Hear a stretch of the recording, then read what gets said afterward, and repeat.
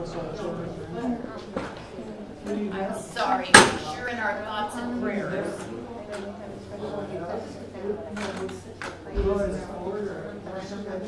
She can hold a little bit, but she, she's dropping. Duramax, Allison. She had a bowl of uh, soup, and she dropped it, and shattered, and the soup was all over. I haven't, haven't seen the garbage in this. No May today either? Four days. So how did you It me go? twelve to get. We were in the motorhome. Someone's had a deal found it. Cart, The ribs are tough. the one was the only cart the thing that broke loose and They were going to, it was crashing around. and it was, uh, took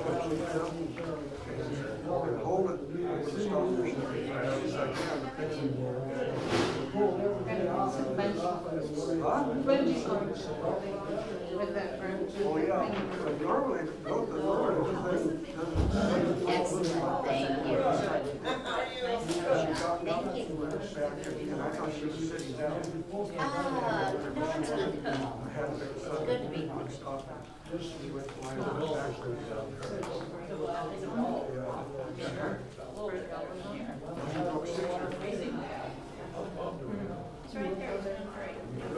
I. Yeah. Yeah. Wish I would too. Meeting on Tuesday Yes, at eleven. yes, I saw that. You have, now you have to just stay home and do it.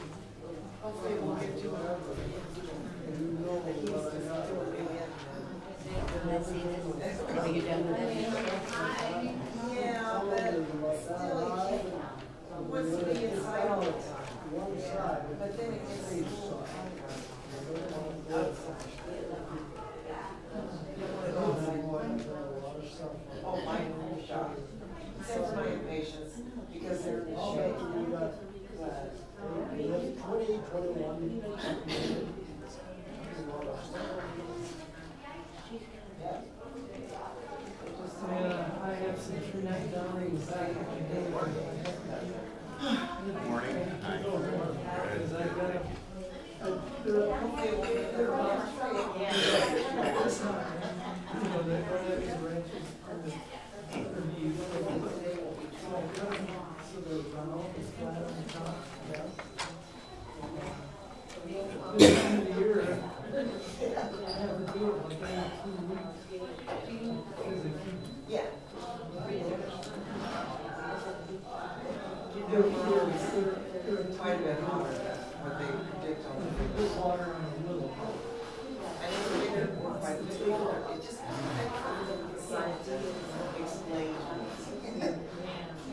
Why are we five, seven degrees hotter in the summer and five degrees colder than Are the kids out? Are the kids out this? Uh, one boy and his wife will be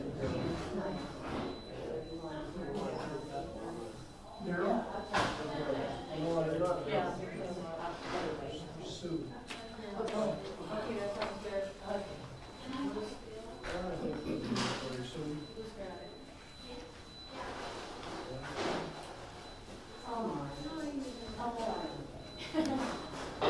She's carrying water.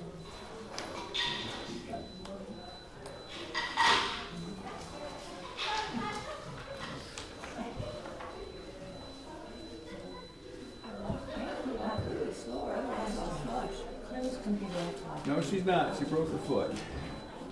So Cheryl's gonna be, So I thought Claire was going to be here, they was going to be children's sermon. she probably, they said they were gonna start calling this Saturday. Claire broke her foot, her toe actually, and she's gonna be on crutches. But we can still have, um, If the, if the, You if can still have the two are, if the kids. kids here, then, uh, yeah. but if not, then you can wait till the next Sunday. Okay. Thanks for reminding me. Yeah, you see children, Yeah. So I go to, all right, let me mark that. yeah. I'll Question kids- mark. Kids, question mark. Yeah. Okay.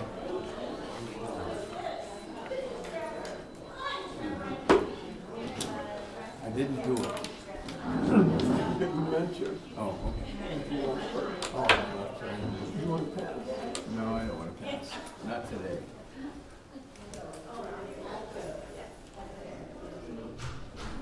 Good morning.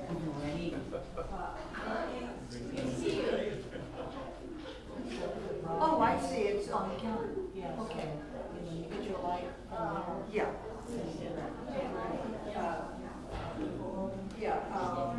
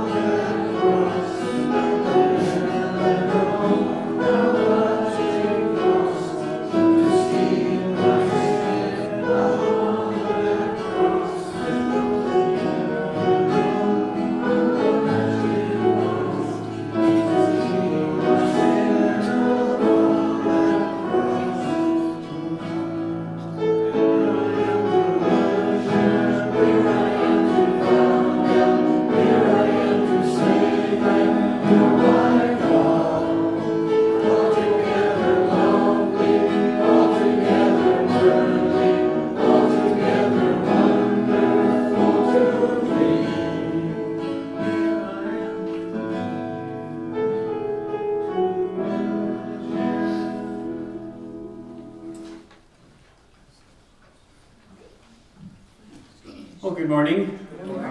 I may would rather be outside. what a beautiful morning God has gifted us with. If you would, let us stand for the opening prayer.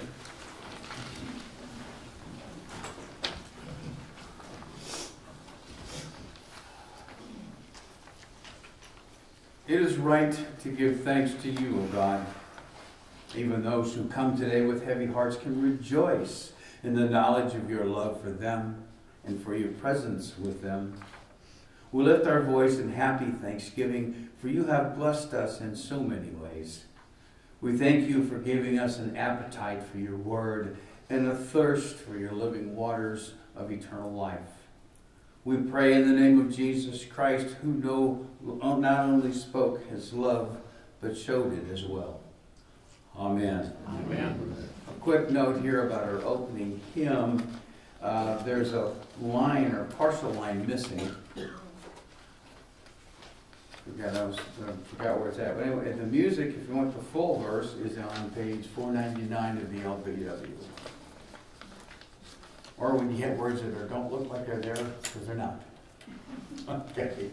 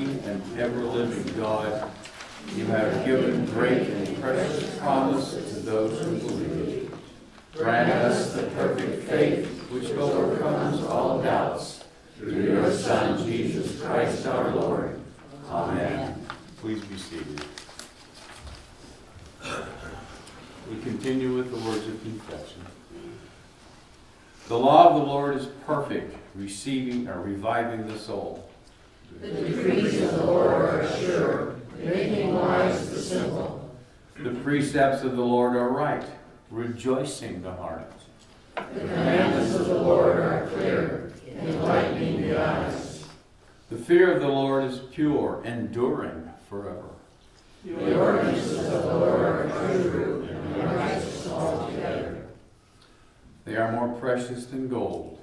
Than much pure gold, They are sweeter than honey. than honey from the comb. But who can defend or detect their errors? Forgive our hidden faults, O Lord. Keep your servants also from wilful sins, and they do not rule over us. Then we shall be blameless and innocent of great transgression. O Lord, hear our prayers and our confessions and our cries to you as we do so silently.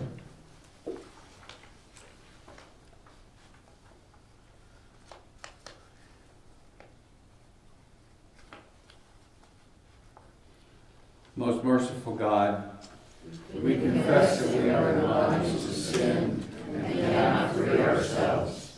We have sinned against you in thought, word, and deed, by what we have done and by what we have left undone. We have not loved you with our whole heart. We have not loved our neighbors as ourselves. For the sake of your Son, Jesus Christ, have mercy on us. Forgive us, renew us, and lead us, so that we may delight in your will And walk in your ways. to the glory of your holy name. Amen.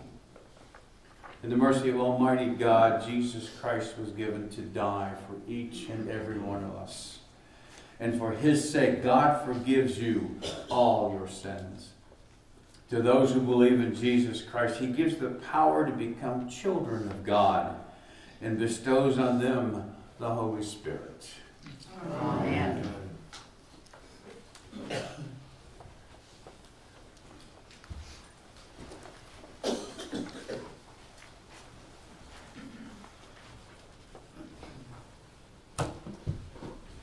This reading is from the book of Deuteronomy, the 30th chapter. See, I have set before you today life and good, death and evil. If you obey the commandments of the Lord your God that I command you today, by loving the Lord your God, by walking in his ways, and by keeping his commandments and his statutes and his rules, then you shall live and multiply, and the Lord your God will bless you in that, the land that you are entering to take possession of it.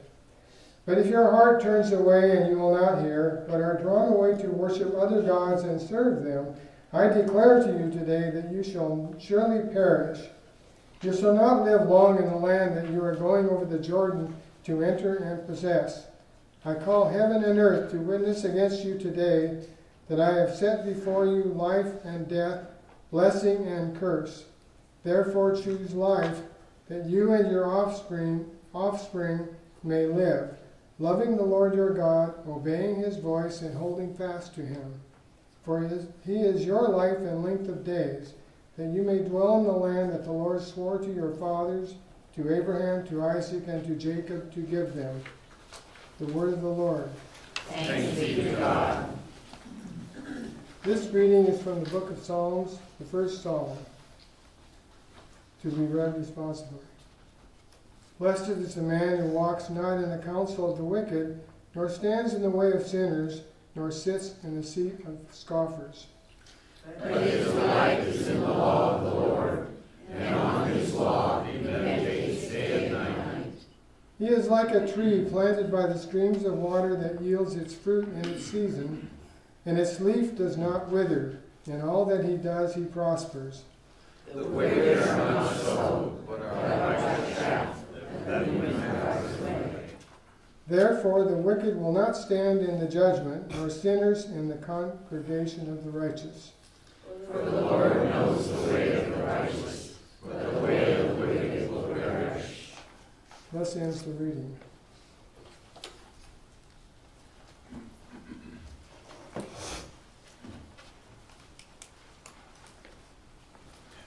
For those who are able, please stand for the gospel.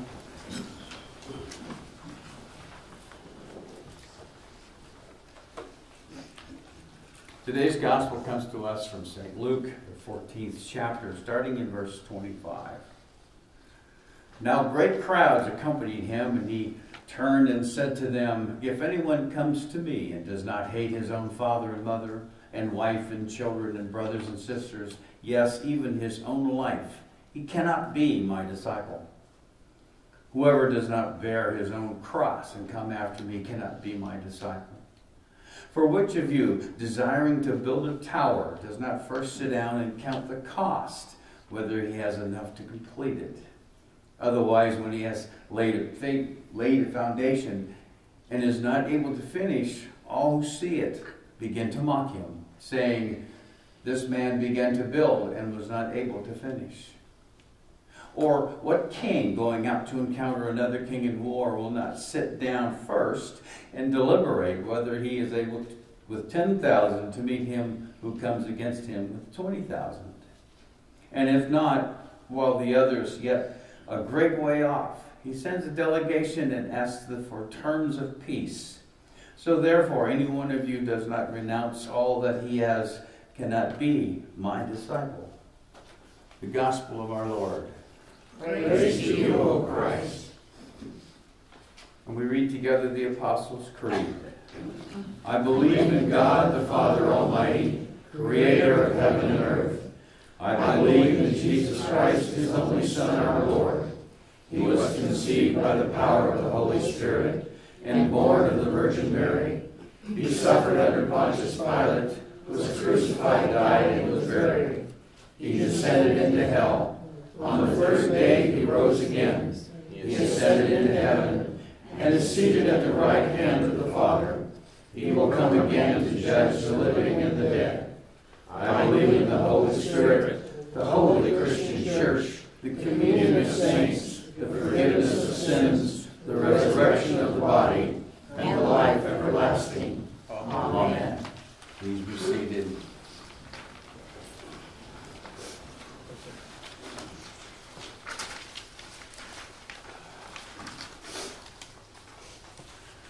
Well, you know that, noticed, I'm sure that as our gospel lesson begins, once again, Christ is with a great crowd. This great multitude, however, which you don't or may not realize, contain not only followers, but enemies. He's got those who don't like him in and amongst this multitude. Curiosity, it's thought, was attracting many of them. The fame of the teacher had gone throughout the land. His teachings and all the things that he's done has been noted. Now, the end of the master, as the master well knew, is very near. He's getting closer to that final walk. Higher and more ideal were the claims he made upon those who professed to be his followers. And remember, I said there were enemies in this group. He was anxious now at the end, clearly to make it known to these multitudes, friend and foe, what serving him really signified entire self renunciation. Now that's hard. A real and not a poetic sentiment. Take up your cross. Even his own chosen disciples were still a long way from appreciating what it is that the meaning of the cross truly is. The terrible, horrific thing that happens to Christ for our sin removal. The cross to Him, to our loving Savior, is a ghastly thing. And yet He still goes.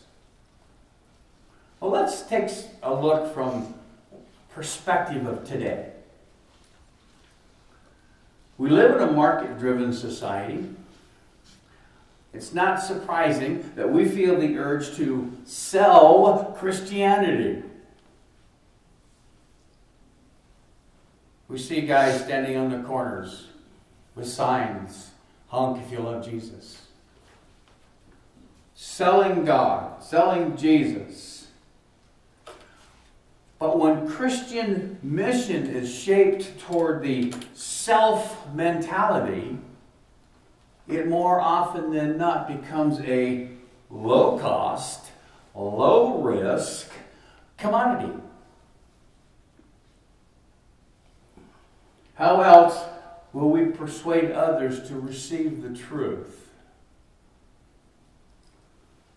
If not by coming in with a lower or better price. It's sad when you think about it. What was it the space program? I remember seeing these guys were in space and said, Guess what? We're flying in something that was the lowest bidder. So here we have people trying to sell Christ at a low cost. Is the Christian faith really that? Is it really a low cost, low risk endeavor? I don't think so. Luke 14 here offers a challenge to a market driven approach to Christian mission. The text begins with two disciples, or I'm sorry, with two discipleship sayings requiring absolute allegiance to God, to Jesus Christ. Absolute. Now, if you're a mathematician, you know what that means. Absolute. That's everything. Well, Jesus provides two brief stories, or parables as we like to call them, to illustrate the importance of counting the cost, giving it all up for Jesus. Jesus' first discipleship saying is framed in stark language. He says in verse 25, Whoever comes to me and does not hate father and mother, wife and children, brothers and sisters, yes, even life itself, cannot be my disciple. Ow! This saying fits a theme from Luke 12 when Jesus warns of families being divided over his message. Because Jesus, in his person and in his message, requires those who would follow him to answer the ultimate allegiance question. Now, I'd like to point out something here in the, in the gospel. Uh,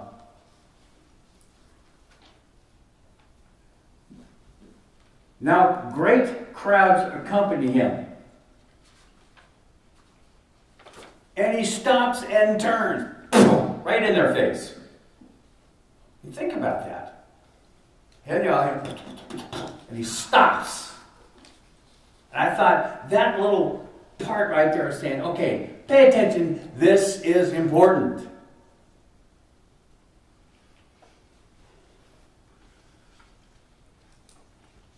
It's not surprising then that he it may inherently bring strife to families.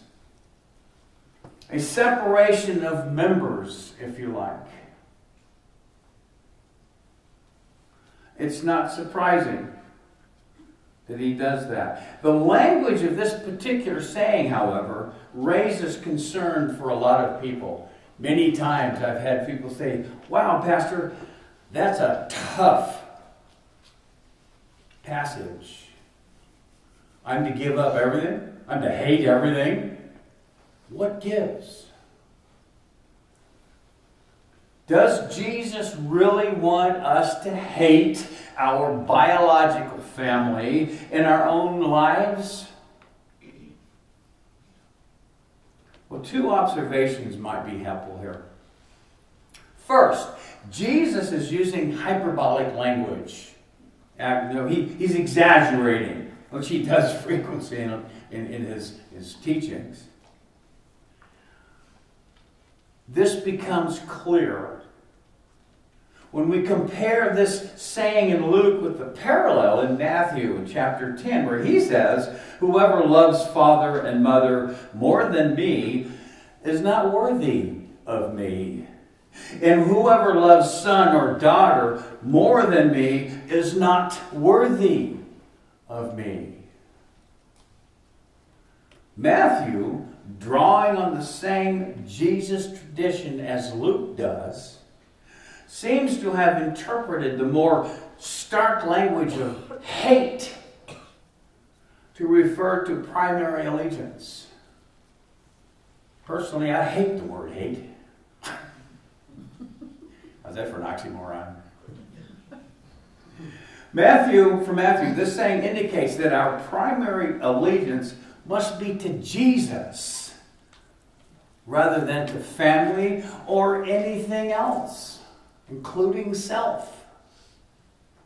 A second helpful observation here is the use of the word hate.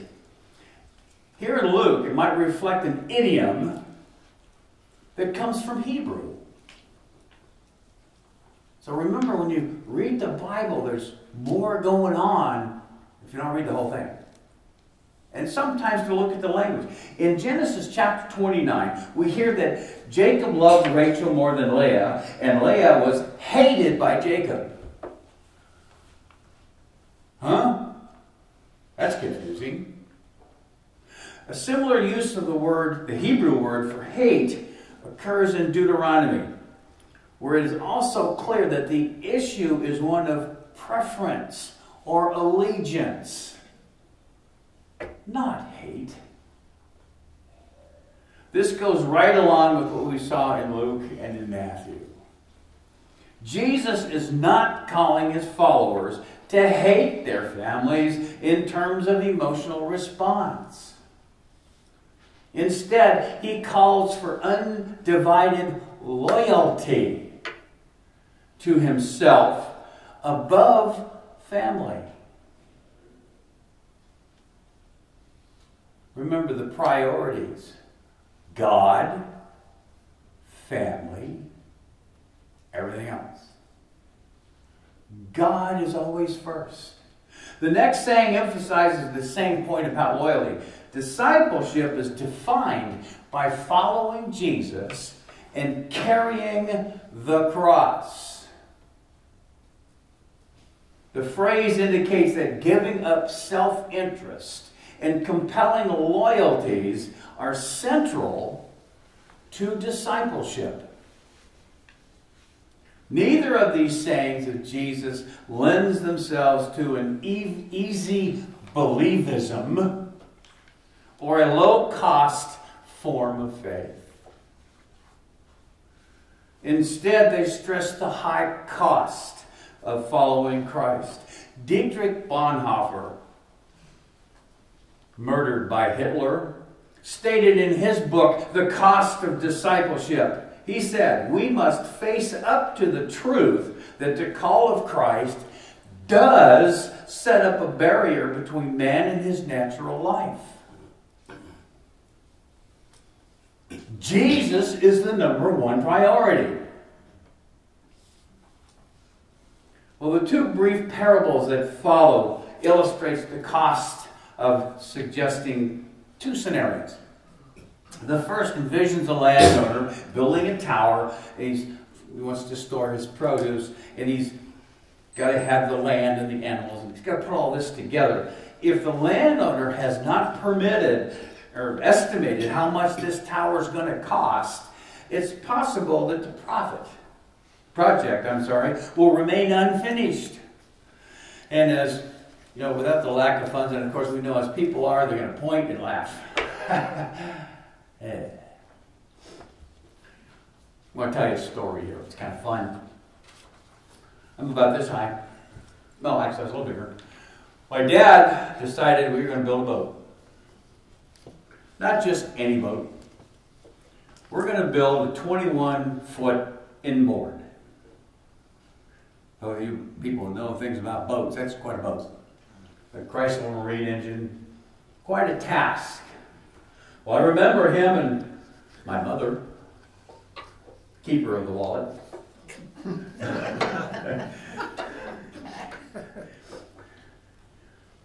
Say what?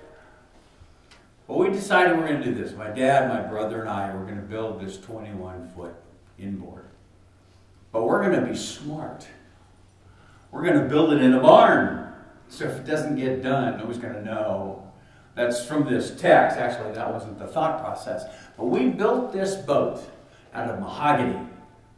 Now, if you realize that's a beautiful wood. So, I learned a lot about boats at the ripe old age of nine, helping to build this. And I remember laying the keel, thinking, wow, this is going to be eventually a boat. The cost every cotton pick and weekend I had when I wasn't in school. I was working on that boat. But that boat made it all the way to California when we finally moved. And we had a lot of fun with it. I learned how to ski behind that boat. But again, The cost was enormous because it cost all of our time to put that boat in whatever money my dad had, I never, to build this thing. But we did complete it. Nobody laughed. Well, the end result, of course, as I said, for the one that's not completed is ridicule, which is unfortunate. You'd think people would roll up their sleeves and help, but instead they get laughed at.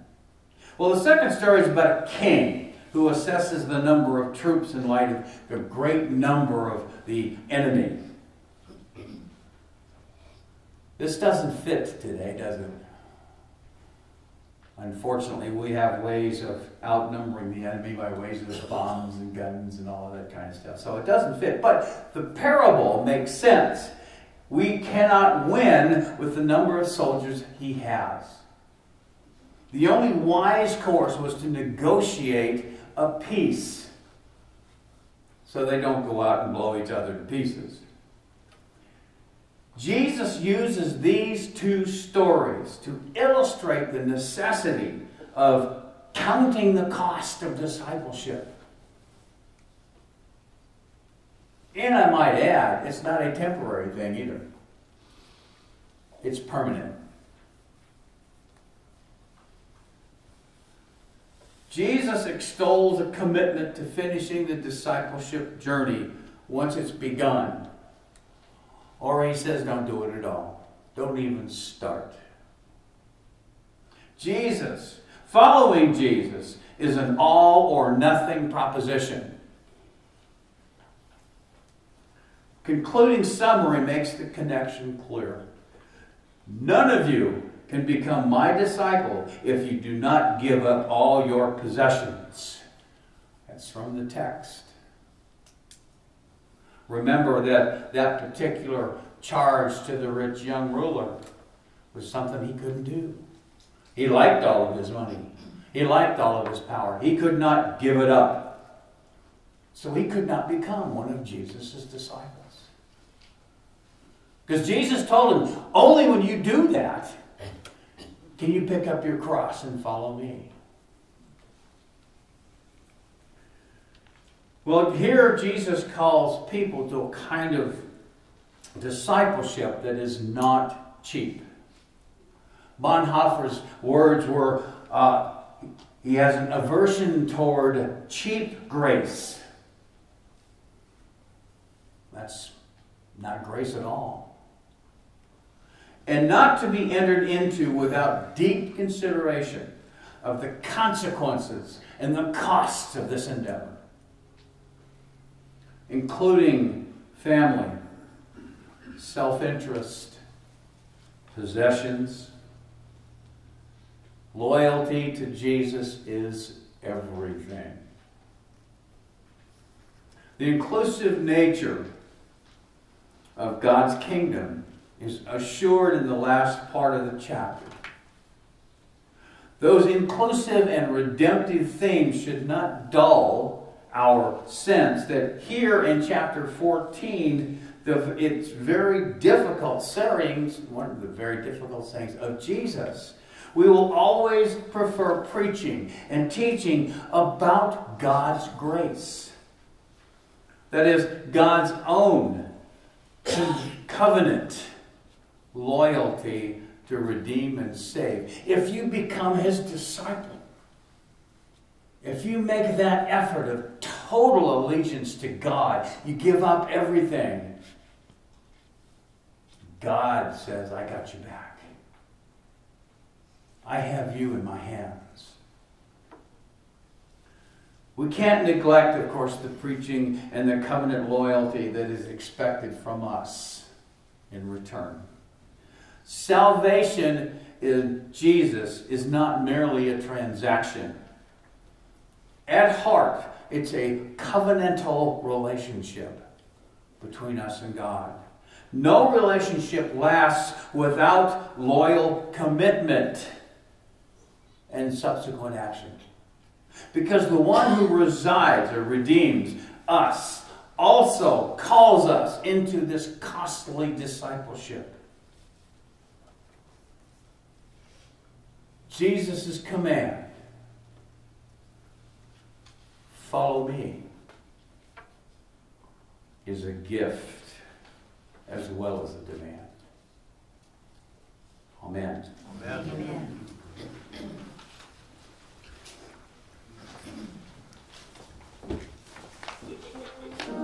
Heavenly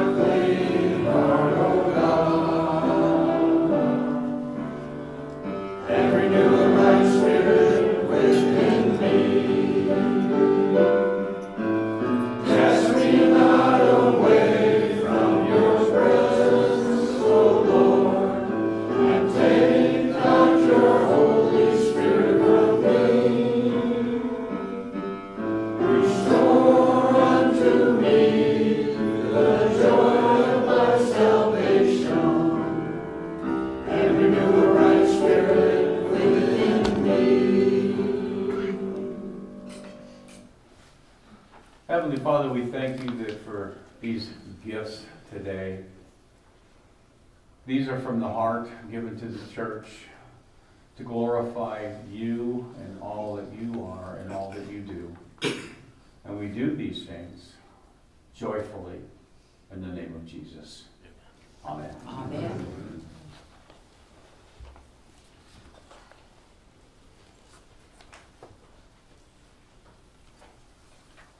Please be seated.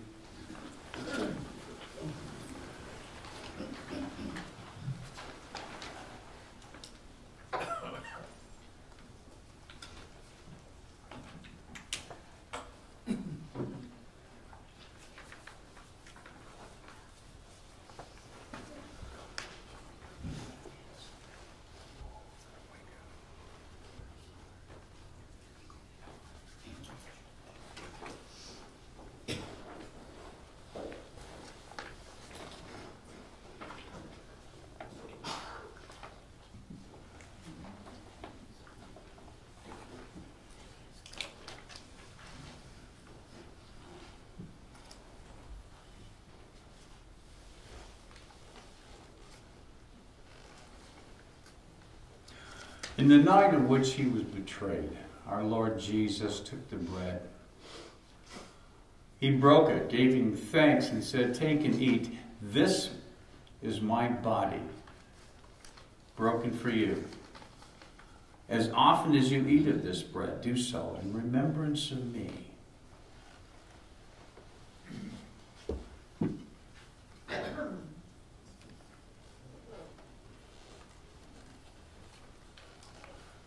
Upon completion of dinner, Jesus took the cup and he said, This cup is the new covenant of my blood. As often as you drink from this cup, do so in the remembrance of me.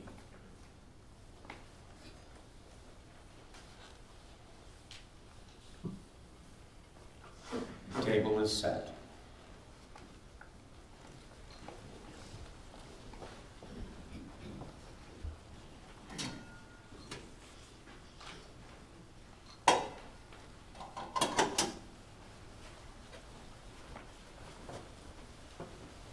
Don't drink it.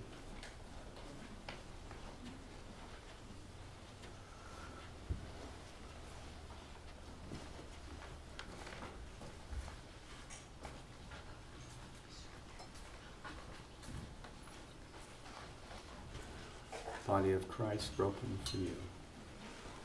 The blood of Christ Body shed of for you. broken for you. The blood of Christ shed for you.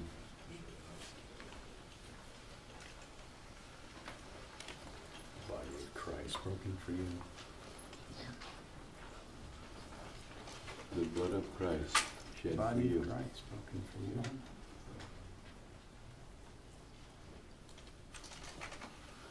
The blood of Christ shed for you.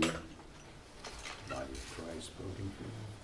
The blood of Christ shed for you. Body of Christ broken for you. Blood of Christ shed for you. Blood, body of Christ broken for you. The blood of Christ shed for you.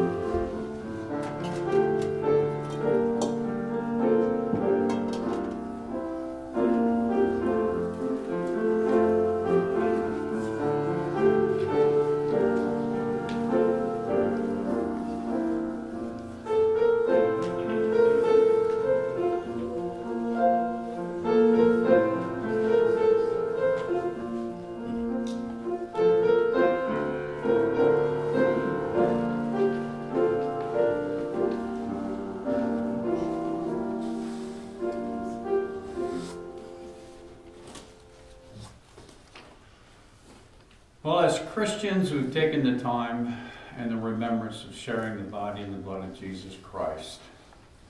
We do this not only in remembrance of his sacrifice, but in the excitement that he's coming back. Amen. Amen.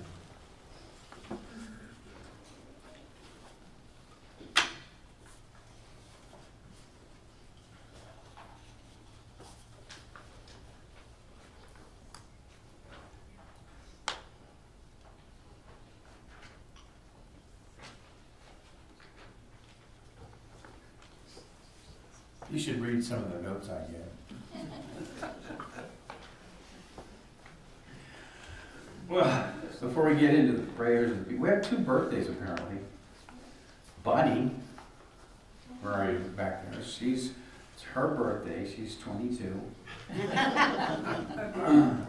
and not today, but you know, last week, even though he was out goofing off on Sunday, going to a baseball game on Sunday.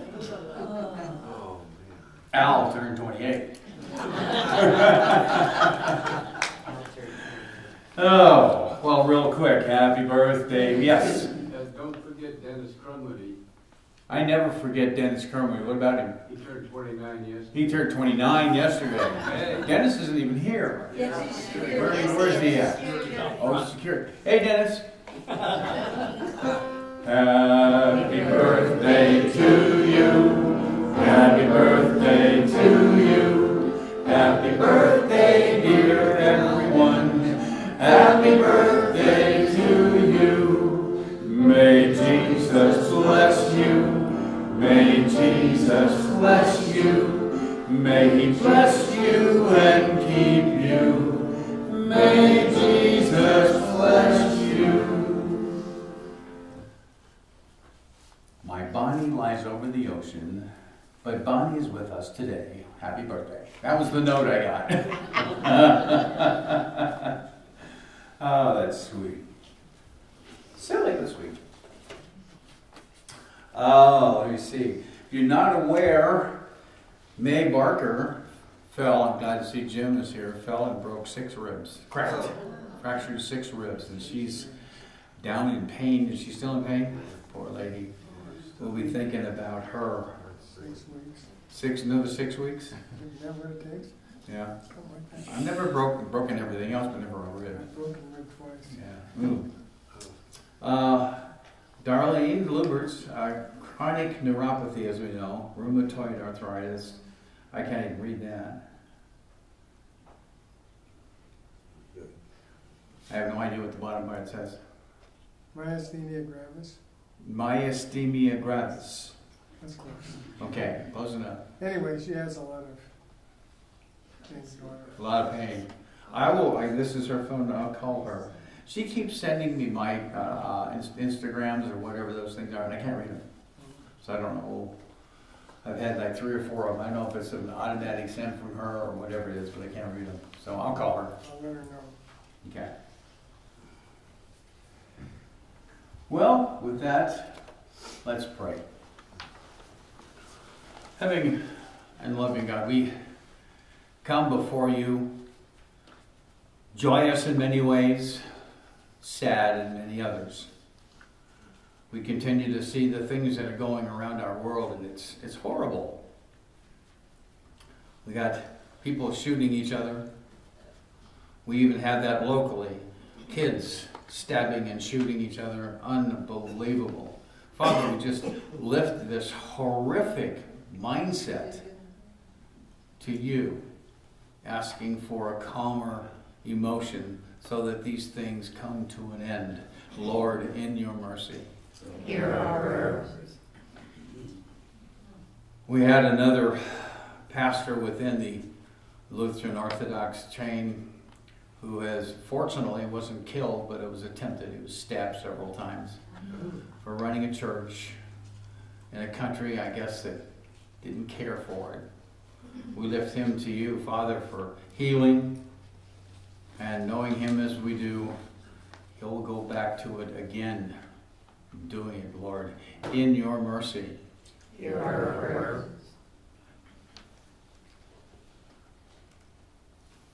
I can't even list the number of things that I see in the news, things that we are saddened about, some things we're happy about. But we lift all of them to you, knowing that you are in charge.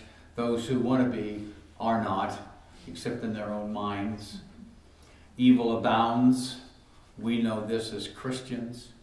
And we lift it to you, asking for that covenant mercy that you offer to us and to those who are not followers of Christ. Lord, as we saw in our message today, there are enemies amongst us. There are many, many wolves among the sheep. And we ask for your guidance and your protection, Lord, in your mercy. We have many among us here in the church who are sick. We have several on our list who are there permanently. We think specifically of Darlene as she continues her struggle. And we ask that you can lessen her pain, calm her heart. She loves you as we do. And knowing this gives us joy while being sad for her discomfort. Father, we also lift to you May. Broken ribs or cracked ribs are very, very painful. It's something that's it's the kind of pain that you can't get away from. You only have to endure until it until it's healed and sealed with your love. Many of us, Father, as I said before, are sick. I ask for that loving hand that you have to surround them, to heal them, and bring them back to the fellowship healthy. Lord, in your mercy. Hear our prayers. Father, we also continue to think of those who are struggling with cancer, decisions that have to be made. I lift to you specifically my daughter, Susan, who now decided to have a double mastectomy because the cancer needs to be removed. But I thank you for her husband, Rick, who is right beside her, says, well, the important thing is, is her love. God bless him, sir. Father, we lift this also to you, Lord, in your mercy. Father, we have heavy hearts on many things, but we lift them all to you, knowing that you are in charge and that you hold us close and you love us dearly. And it's for that love that we give thanks and lift all of these things in the name of Jesus. Amen. Amen. Let us repeat the Lord's Prayer. Our Father, who art in heaven, hallowed be thy name. Thy kingdom come, thy will be done, on earth as it is in heaven. Give us this day our daily bread, and forgive us our trespasses, as we forgive those who trespass against us. And lead us not into temptation, but deliver us from evil. For thine is the kingdom, and the power, and the glory, forever and ever. Amen.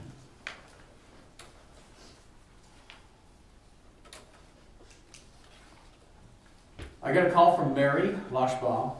She's one of our sick people. And she asked that I put out Bible study to remind those that she's having the Bible study in her home. Uh, you, in her home? I'm not too sure if it's in her home. She's having the Bible study. Huh? Zoom. Zoom. Zoom. She's doing well, okay, then from her home in Zoom. Was right. I'll get out of it somehow. anyway, and to uh, she has right now four, I think, that have signed up. Uh, she needs more.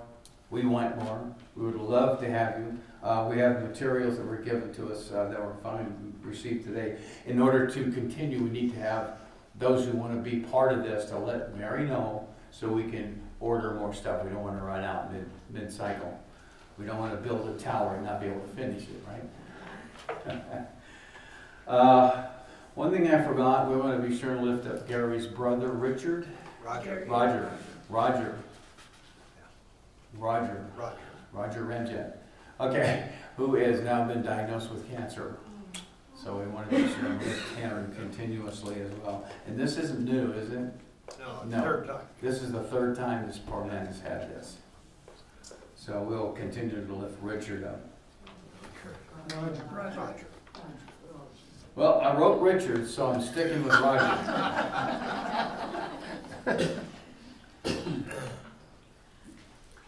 Just ask Peggy, names are not my forte. Okay, Roger. Um, and of course, we'll list out, uh, Claire, be her name. If you wonder why I don't have an acolyte today other than the adults, Claire broke her foot, her toe. Oh, no. She kicked the couch, or roughhousing according to her mother, and she did it good. She didn't break it so they could just tape it together. They have to do, there no surgery scheduled, but she broke the plate or something behind the toe, and she's really damaged. So she's now on crutches and an uh, air boot, I guess. Poor thing. I could hear the screams from my house. Ow. I've broken a toe or two. I know what that feels like. Uh, let's, let's see, I had another Rick Mitchell. Rick. Yeah, we heard Rick Mitchell. He went in, uh, emergency difficulties, and turns out he had to have an emergency gallbladder surgery. That's Rayanne's husband, if you're not aware. Uh, she's with him, obviously. And so he was in the hospital. Fortunately, that's an outpatient thing, but for him, no, he's got to go royal. He had to have an infection to go with it, so they kept him overnight. I can say that because I know Rick. Uh, I had another announcement. There you are. Come on up.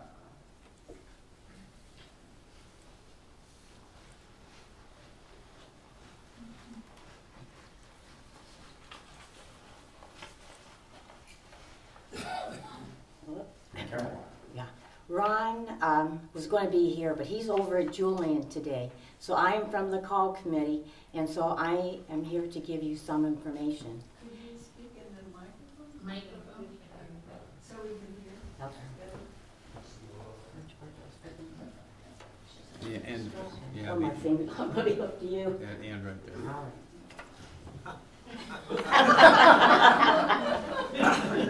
Join together. Okay, can you hear, can you hear me now? There, there, God. Okay, Ron is over at Julian, and he was going to come and give you some information and update on our call committee. So since he's not here, I am here to give you some information. First of all, I want to say, and I'm disappointed, that there has been some misinformation, some rumors, some leakage out, and this is not what we are about. So what I'm going to give you is what I know from the call committee. We, after a lot of prayer, a lot of concern, we have come upon a candidate that interests us, and so we thought we would want to present it to the congregation. We looked at his resume, which was very lengthy, and we had a lot of questions. The first time we made connection with him was by Zoom. Well, we are not Zoomers in our call committee. It is, it's not very personal. So since that time, we met with him three different times in person for lengthy discussions. So, we also, uh, he had a sermon that we could see and hear on uh, YouTube. So we took that in also.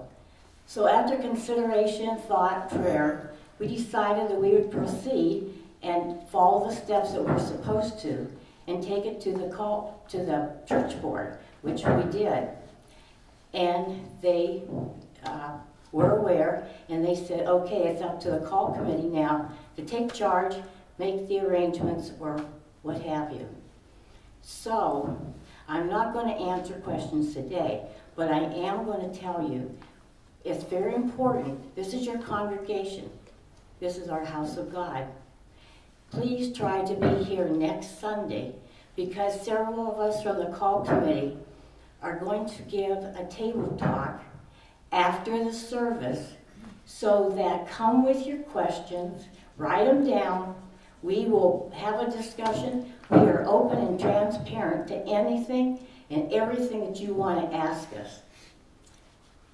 And that will be in the sanctuary. So before we go get coffee next Sunday, let's have our discussion. This is the time to do it. No rumors, get it out. Because the next important thing is, next Sunday is the 11th, so September 18th, our candidate will be giving, preaching and doing communion with our service. So that is September the 18th what we thought we would do. This way, he, with the meeting next week, will be introduced kind of in our mind. So after he does the sermon, uh, the service is done, we will all go, whoever will, go over to the coffee, to the fellowship hall, have coffee, you can meet him, and he is open to answer anything that you'd like to ask him. So please come with your questions and uh, just remember, we don't want division. We want understanding. We love you all. Please keep praying for our call committee. We all need it. Glory be to God. Amen.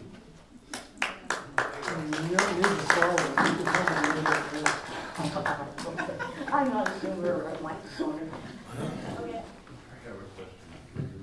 Oh, Is the committee recommending this man? yes, that is the purpose of why it is, a- he is a rec, you're putting him to his name as a candidate to the church board. Because we went through this whole process, meeting him, listening to the sermon and everything.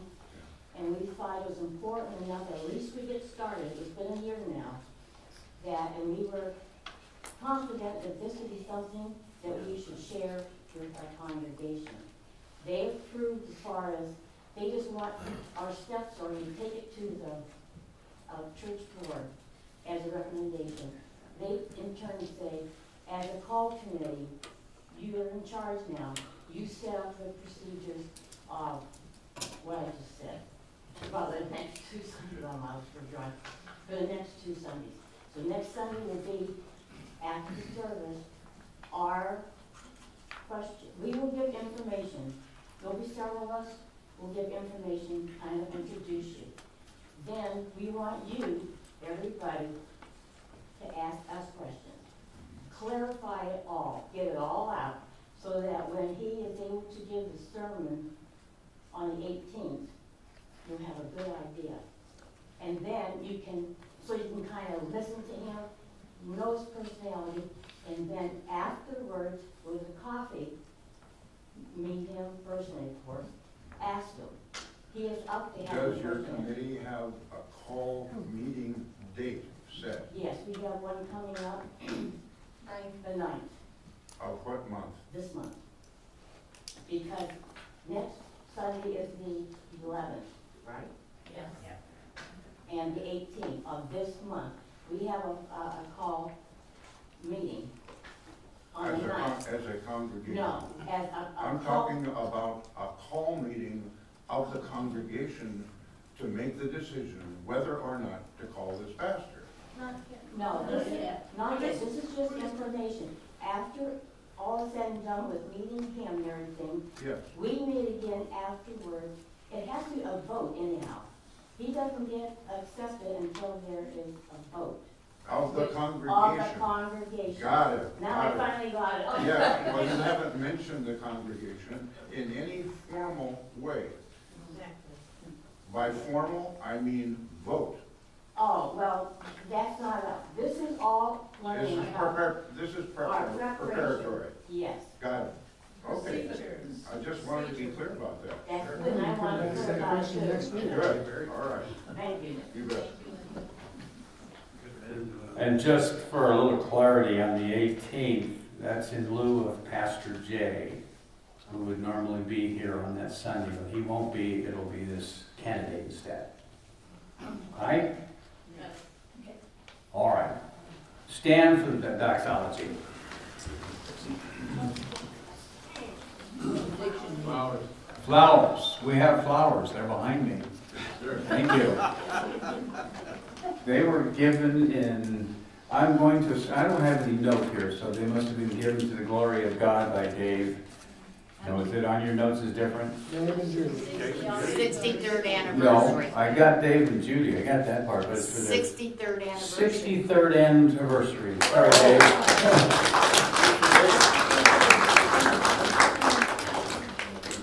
That's what happens when they update the bulletin before I get it, or after I get it.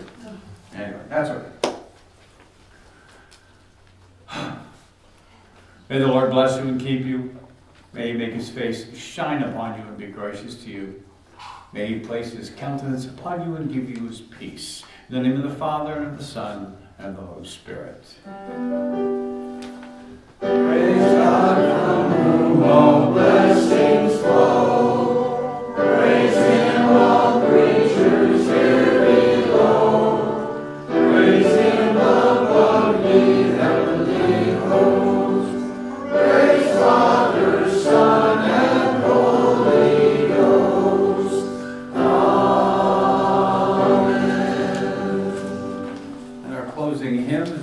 He Lives.